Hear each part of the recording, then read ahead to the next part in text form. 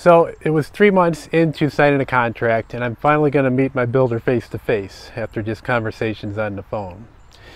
And we're talking over my barren property where uh, our foundation was pretty much just uh, cleared off and nothing had happened. 90 days into the project and there's not much to show for it. He leans down and he picks up this nail and he looks at it and he says, this will never happen on my job site. I run a tight ship here.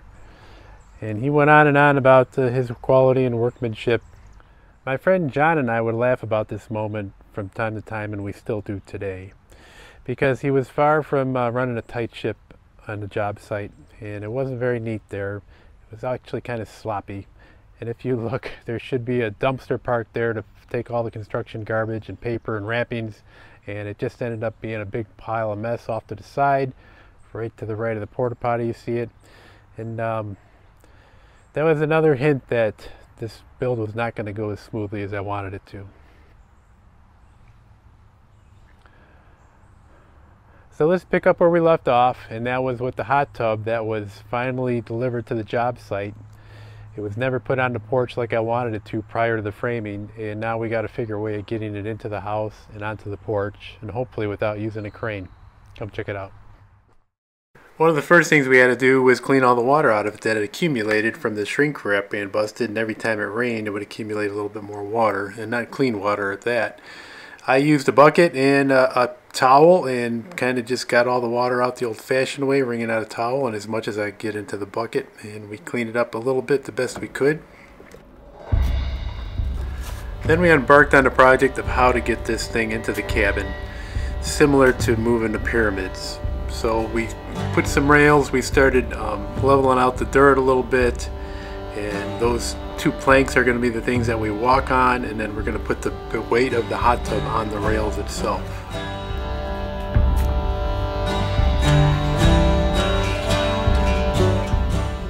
So being that there's very little friction just on the two rails, the hot tub actually moved quite easily.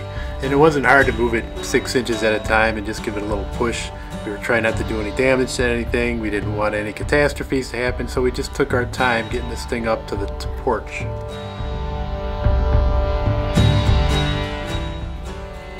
So we're getting to the point where we're going to have to do a little bit of elevation gain to get it on top of the porch. And it's really not going too bad. We're just going maybe about three or four inches at a time, just kind of pushing it on both sides. We're balanced on the two planks in the middle, and it really kind of went up kind of easy. Since our visits here in the fall, October and November, we came pretty acquainted with the two carpenters that have been working here on a daily basis. They especially like how we would clean up after them at the end of the day. But we commandeered them to help us get this hot tub on its side. And then their next job was to try to get it into the door.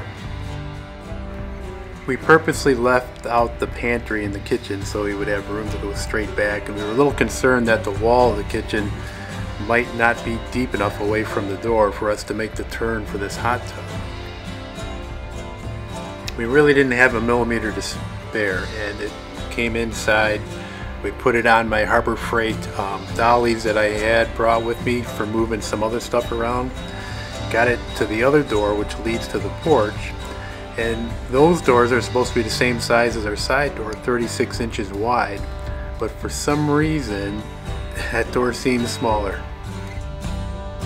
So at this time, our general contractor had showed up, and my brother-in-law, who was allowing us to stay in our timeshare, he also came to see what was going on. And we commandeered them along with the two carpenters, and we started pushing to get this thing out into the porch. And it was a much tighter fit than the uh, side door that we had to go into. And I could have swore that I could have heard a sound when we finally started making some headway.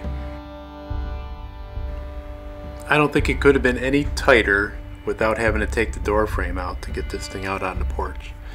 Once we got it out there, I got the hose out, I hosed it down, cleaned it out, scrubbed it really good, got all the dirt, fleshed out all the jets, I put the cover on it, we sealed it up, and now it's just waiting for the electrician to hook it up. That was a load off my mind, now we can concentrate on working on the inside, setting the vanities.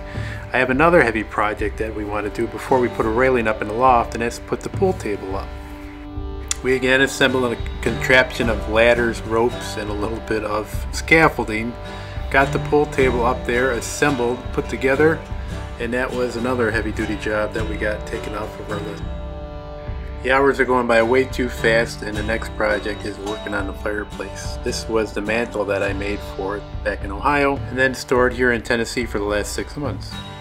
We got an electrician back here because there were a lot of mistakes where some of the switches and outlets and even the boxes for the lights. Like for our dining room table, it was off by six feet of where we wanted it. There were certain parts in the loft where there wasn't even a box put for a ceiling fan and it had already had the tongue and groove put in there and we made them put a box and have to fish wire down through the finished ceiling material. We ran out of time once again, had to leave, and our next trip I'm coming with Karen and hopefully we're going to have heat, running water, septic, and all the comforts of home. It is now December, Karen and I have come here, and you guessed it, there's no septic, there's no heat, and the electric is still off the temporary pole. We do have water though. As always with our trips, we immediately went to work. We kind of set up the bedroom. I brought a space heater and we can run an extension cord to it so we can at least heat one room while we're there in the meantime for us and the dog. And then we started cleaning. The mud was terrible inside from all the people coming in and out, that red clayish mud. We probably washed that floor 10 times literally until we started just dumping buckets of water on top of it and sucking it up with a shop vac. This was an encouraging moment though. We had the propane delivery truck come and they set up the propane tank near the side of the cabin and hooked it up to the fireplace and that's sufficient enough to heat the whole cabin if need be, which it did. So I noticed a pattern that when we're not there, things go at a snail's pace, but when we show up, things happen pretty quick. And it was a flurry of activity. We got electric established on the inside, we got the septic hooked up, and we got all the pertinent niceties of home the following day. It's been quite chilly this trip, which is a little unusual for this area of Tennessee, especially in early December. One thing we noticed when we turned on the furnace for the heat is that there were a couple rooms that didn't have the registers cut out where there were vents. I took the liberty of cutting those out in the bedroom, the bathroom, and the kitchen.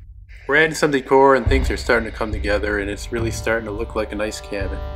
Being 8 hours away, our days are always full of activity from sun up to sundown.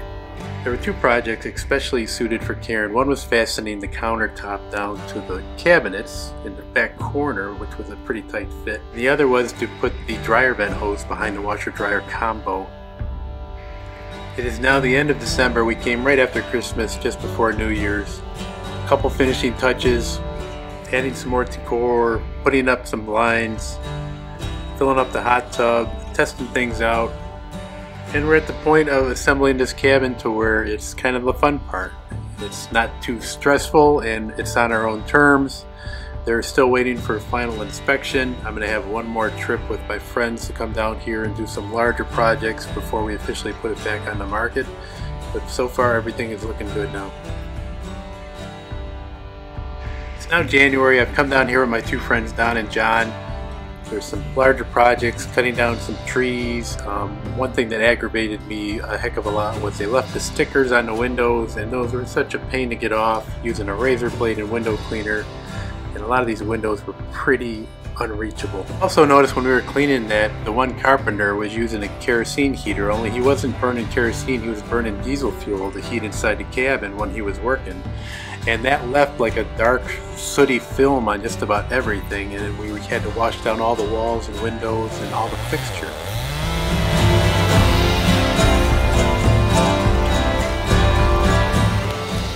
While I had the two guys down here, I wanted to cut down some of the dead trees that never survived the fire. Some of them looked like they might have come back and we gave it uh, almost a year and they just weren't going to make it. So we wanted to take these down before we got things up and running officially.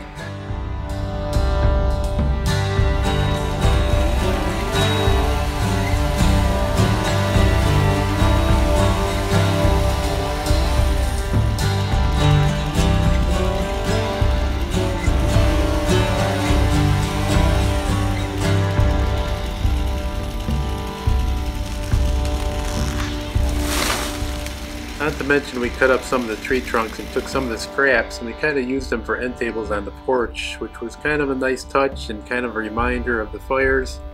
And we saved a little money not having to buy some treated wood for fencing. Now that we have the internet up and running, I can also install our security camera system, which kind of just gives us four views of the outside of the cabin, mainly the parking area and of course looking out over the mountains. Well, you're probably never all done, but we're as close to being all done as we can. We're going to open up the VRBO site and start re-renting the cabin on the rental market. We've come a long way since we purchased this back in 2015. This is how the cabin basically looked pre-fires. Here's the living room pre-fires and post. So I can definitely tell you that having this new cabin is certainly a lot better than having the old one. The old one had its characters and I would not wish anybody to go through what we did, that we had to rebuild this thing. But in the long run we are better off. During the build it was terrible. The old cabin did have its issues and we had a laundry list of items that we were going to do with it. We initially put $40,000 into the old cabin when we first bought it. And that got us a good head start on things. Now we're of course in good shape Back in 2015 when we first purchased the old cabin, we paid 145 for it. We put $40,000 into it to kind of refurbish it. It cost us about $260,000 to rebuild the cabin after the fires. So we're still trying to recoup some of our money. The cabin is doing well and we'll continue to make improvements just like anybody else does with their home. One of the things I wanted to do right off the bat was get a set of stairs so we could get down in the basement a lot easier. And that was one of the first projects that post starting to rent that we started doing. It was well worth it and it's a lot easier to access the basement now, carry things up and down, get the Christmas decorations, and I even set up a little workshop down there with a workbench and a table saw for future projects.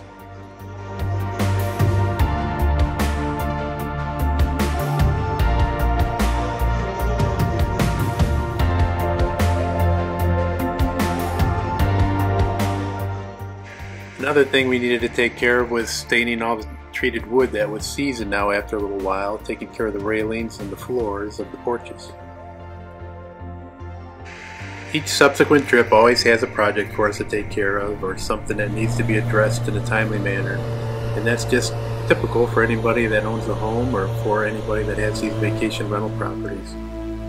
We enjoy managing the rental property ourselves, and in turn we get to keep a little bit more than if someone else were to manage it for us. We also are very responsive to the people we rent to, so much so that in our VRBO ranking, out of 9,500 cabins in our area, we are ranked number one. And we had a really good ranking prior to the fires also, so I was glad that we could get back to this point again. As this video started earlier, I was at the Chimney Tops Trail, and this is where we're going to end it. So if you go visit the Chimney Tops Trail, you're going to be hit with a warning that you cannot go any further to make it to the actual peak of Chimney Tops. Due to the destructive nature of the fire up there, things are just too unstable and too dangerous to walk on loose rocks. Um, no more trees or foliage, the whole thing's in place and it's said by the Park Service that it's going to be several decades by the time this trail is reopened to that peak again, and it's probably not going to be open in my lifetime. It is such a shame that these two kids created such a chain reaction that affected so many people and did so much damage to property and nature. And even though that you can't do the last 2,000 feet of the trail, it's still a great place to go up there, get some fresh air, see some beauty, take it all in, and be thankful. I appreciate everybody watching these videos. I hope you subscribe. I hope you enjoy them. Click on that like button if you have a chance. And keep an eye on us. Take care, everybody.